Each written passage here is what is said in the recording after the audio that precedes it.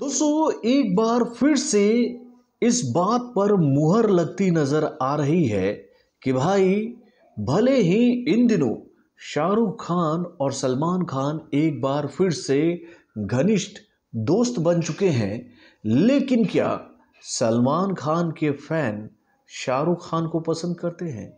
या फिर ये कहें कि भैया, शाहरुख खान के फ़ैन क्या सलमान खान को पसंद करते हैं?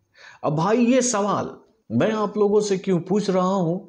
क्योंकि भैया खबरें ही कुछ ऐसे निकल के आ रही हैं, भाई, सोशल मीडिया के गलियारों से, जिसको देखने के बाद तो ऐसा लगता है कि भाई, अभी भी सब कुछ ठीक होते हुए भी ठीक नहीं है। तभी तो भैया, जैसे ही सलमान खान का नाम धूम के पार्ट फोर के साथ जोड़ा जाने लगा कि भाई शाहरुख खान के फैंस के बीच में खलबली मच गई इस बात को लेकर कि भैया, ये कैसे हो सकता है? इस फ़िल्म में तो शाहरुख खान को ही नज़र आना चाहिए। तो भाई, ये पूरा मसला है क्या? चलिए मैं आपको बताता हूँ इस छोटे से रिपोर्ट के माध्यम से। हेलो फ्रेंड्स मैं हूँ नरेंद्र और मैं आपका एक बार फिर से स्वागत करता हूँ हमारे चैनल यानी कि वायरल न्यूज़ जंक्शन में।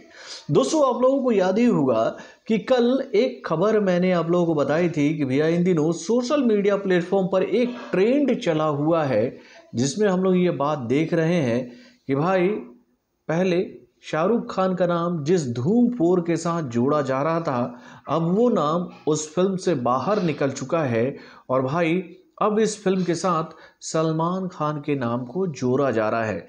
यानी कि कल सोशल मीडिया प्लेटफॉर्म पर धूम के पार्ट फोर का एक पोस्टर हम लोगों के सामने आया, जिसमें केवल डी फोर लिखा हुआ था। लेकिन इस पोस्टर में कहीं भी सलमान खान का तस्वीर नहीं था और ये बात हम इस पोस्टर को लेकर आप लोगों से पहले ही क्लियर करना चाहेंगे कि भैया ये पोस्टर जो है, वो वाई आर एफ़ के मेकरों के द्वारा जारी भी नहीं किया गया था। यानी कि भैया ये पोस्टर जो है, वो सलमान खान के एक फ़ैन ने बनाया था, जिसमें उन्होंने ये बात लिखी थी कि भाई इस फ़िल्म में सलमान खान नज़र आएँगे।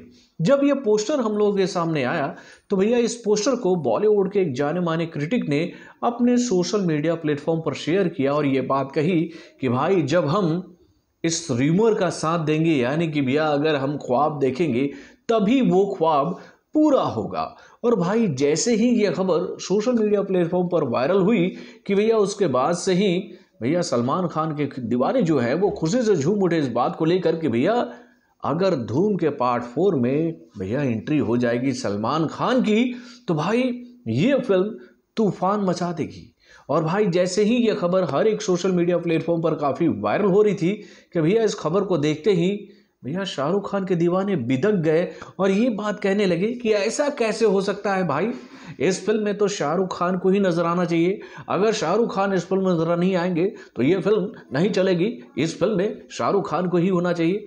यानी कि भैया, इन दिनों हालत कुछ ऐसी हो गई है पठान और जवान के ब्लॉकबस्टर हिट होने के बाद कि भैया, हमको तो ऐसा लगता है कि वाईआरएफ के मेकरों को, भैया, शाहरुख खान के दीवानों को लिखित तौर पर यह बात लिख कर दे देना चाहिए कि भैया, आपकी आने वाली हर एक फ़िल्म में शाहरुख खान ही नज़र आने चाहिए।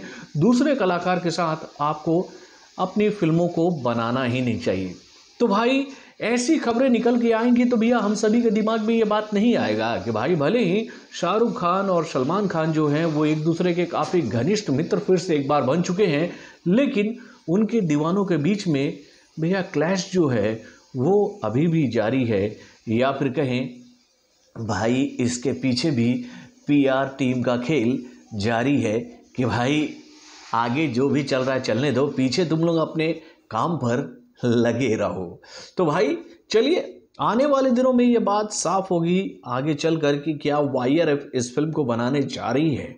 और अगर वाई इस फ़िल्म को बनाने जा रही है तो भैया इस फ़िल्म में क्या सलमान खान नज़र आएँगे या फिर शाहरुख खान? ये तो आने वाले दिनों में पता चलेगा।